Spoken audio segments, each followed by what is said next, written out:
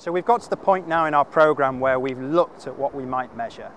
So if we're working on time in the week and maybe total time worked, we can start looking at how we might overload our bodies to create an adaptation, to, be get, to get better, to become stronger, to run further, or whatever we want as our ultimate goal.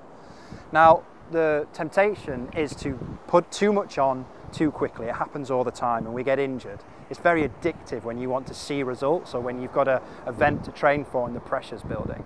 But the way we should look at overloading our bodies is similar to the tides. So the tide's coming in right now.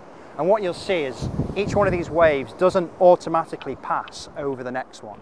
What you'll have is a wave come in and then one will come slightly shorter, slightly shorter, but then every now and again, one wave will overtake the previous point and come to the furthest point that it's ever reached.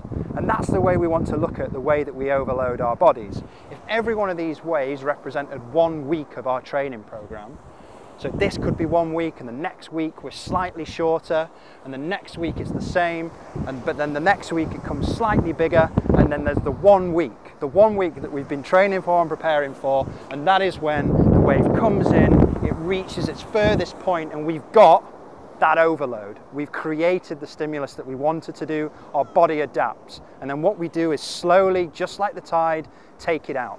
You could look at it on a micro level as you're training for an event, but you could also look at it on a macro level. You'll have months of your year where they'll be big in volume and you're purposely taking them down.